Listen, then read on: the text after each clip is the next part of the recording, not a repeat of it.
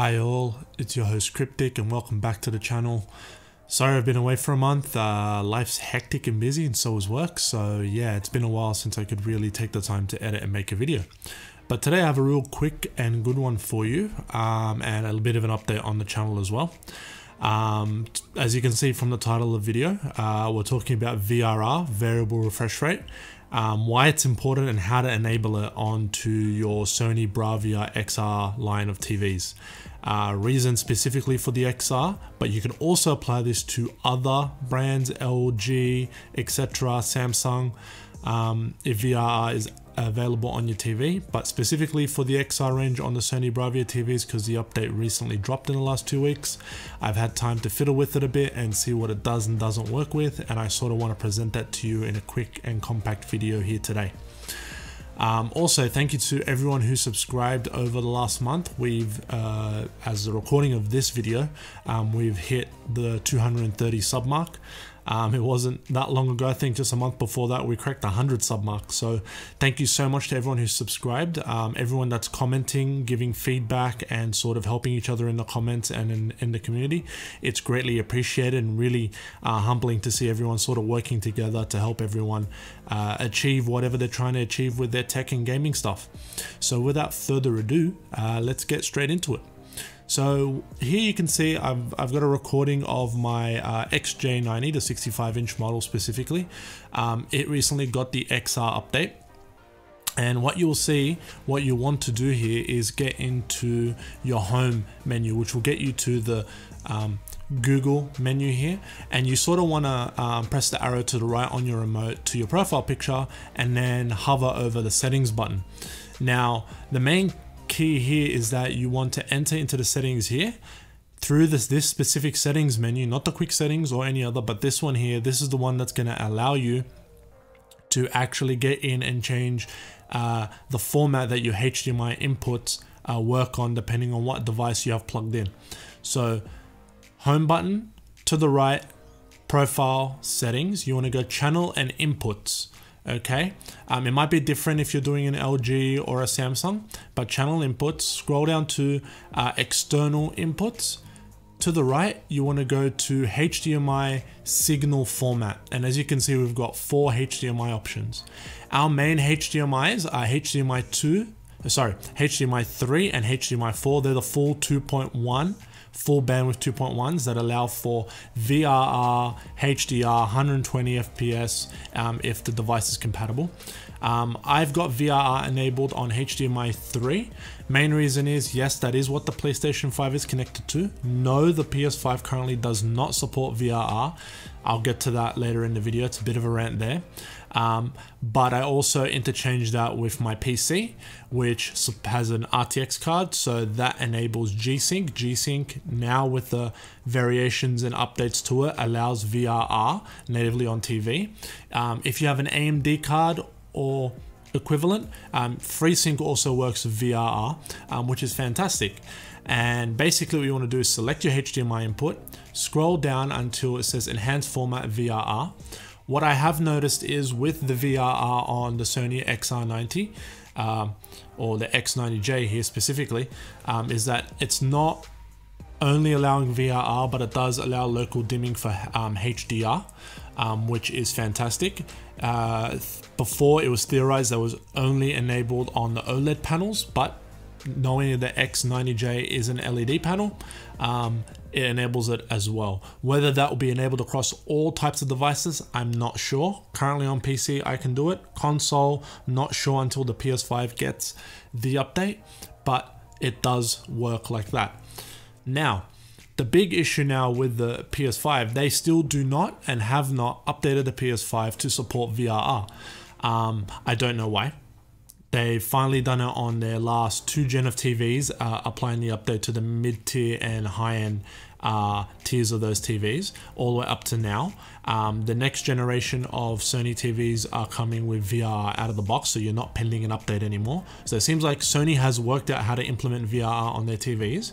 Um, don't know why they can't just enable it on the PS5. Uh, the next big update that's coming for the PS5 that's currently in beta um, has no word on whether VRR um, is going to happen. Now you'd wonder why is VRR so important? Um, recently we've had a whole bunch of games come out. Uh, a very high profile game, Elden Ring by From Software or FromSoft. Um, their games are notoriously known to drop frames. Um, they have a lot going on, massive enemies, um, a lot of particle effects. Their engine, unfortunately, isn't the best optimized engine in the world. Um, it is sort of outdated in the sense that they've been running the same base base of the engine for a while and just adding updates to it and feature feature stuff to it but they haven't really done a full overhaul like sort of unreal engine 4 went to unreal engine 5 etc etc right um, and because of that and their games being multi-platform, you'll notice that there's a fair bit of frame dip. Um, it's not running at a solid 60. Um, depending on what console you're playing on, you may not even be getting a solid 30, especially if you're playing on base consoles like the base Xbox One and the base PS4, um, which is a real shame because their games are phenomenal. Um, like it or hate it, they make amazing games. They are quite difficult, so you either love them or you hate them. But in respect to their genre of games, they're fantastic, but they are let down by performance. Now, VRR, what it does essentially is, and you'll notice this also with a bit of the early gameplay that I have here recorded of Horizon uh, uh, Forbidden West. Sorry, I uh, wanted to say Zero Dawn, but that was the the predecessor to the current one. Um, early days, it did drop a couple frames here and there, um, and VRR essentially allows anything between 40 minimum of 40 frames give or take. Um, it all depends on the algorithm of the VRR implementation that you have, but generally it's around 40 frames and above.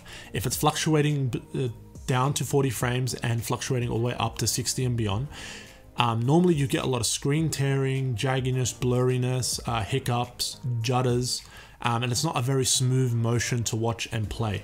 With VRR enabled, what it does is it gets the frame rate or the refresh rate of the monitor to uh, properly sync with what's being output by the game.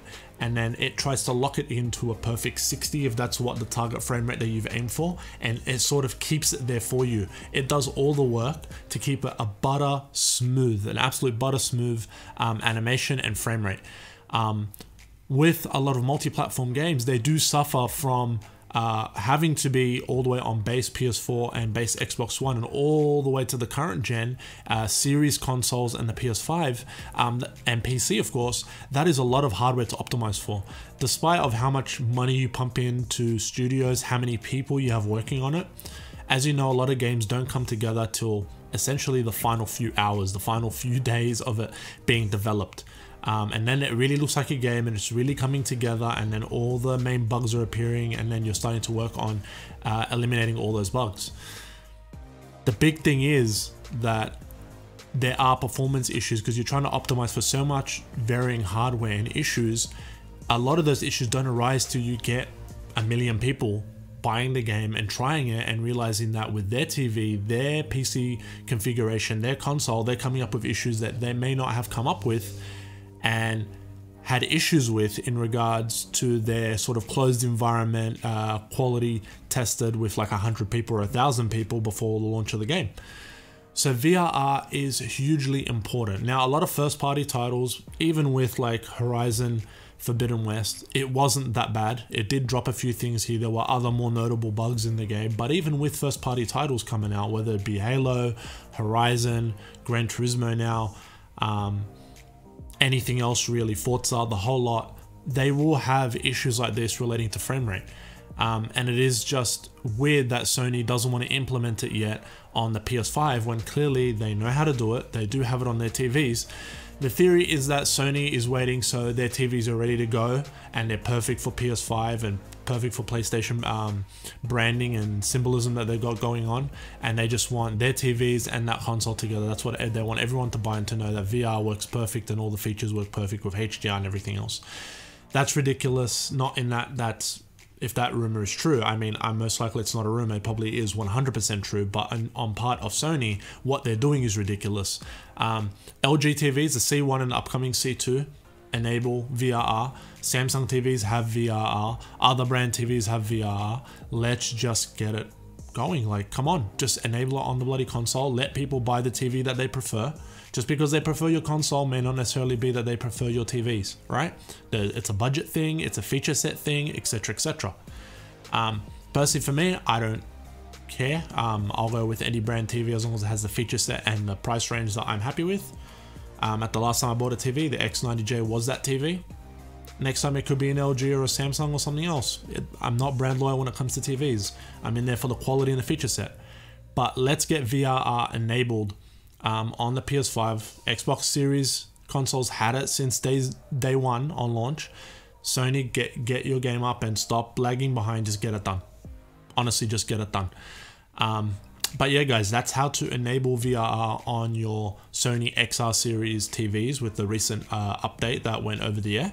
Um, similar process can be applied to Samsung and LG TVs and other brands. They'll all be about the format for your HDMIs, and it's usually an extended format naming or enhanced format. It's along those lines of the naming conventions, and that usually allows you to enable your HDR, your 120 frames per second, your VRR, etc. If this video has been helpful for you, please hit the thumbs up button, click subscribe and the notification bell, share the video, and of course leave a comment below on your thoughts and do you are you guys annoyed with the fact that the PS5 doesn't have VRR yet, considering that we're well over a year uh, after launch and it still hasn't happened? Um, are there any any other features on the PS5 or any other sort of uh, I guess console that you're waiting for that you've been waiting for forever to happen?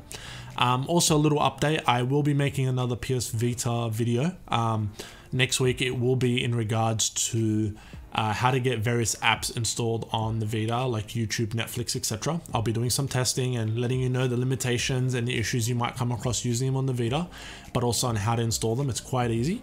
Um, if you've done any modding before, any other app installation, it's pretty much the same, but there are some setting tweaks that you'll need to do. But that will be next week's video, guys. Again, thank you so much for everyone who's subscribed lately, and I will catch you all on the next one.